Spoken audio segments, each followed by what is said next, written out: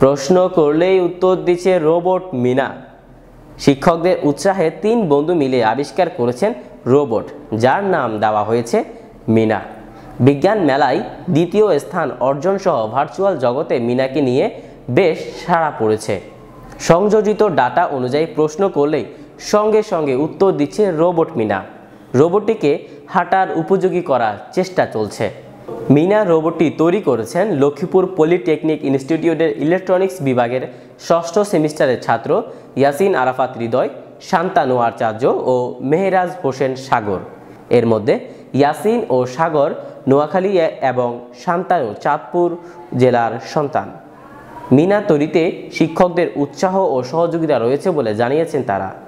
এখন নোয়াখালীতে শুরু হয়েছে ডিভাইস কসমেটিক খতনা আপনার সন্তানের জন্য শতভাগ নিরাপদ, ব্যান্ডেজ মুক্ত, রক্তপাত মুক্ত, ইনফেকশন মুক্ত খতনা হবে এখন নোয়াখালীতে। খতনার প্রথম দিন থেকে রোগী গোসল করতে এবং স্কুলে যেতে পারবে। সেলাইবিহীন ব্যথামুক্ত ডিভাইস কসমেটিক খতনা করান, শিশুদের সুন্দর, স্বাভাবিক এবং ঝুঁকিমুক্ত রাখুন।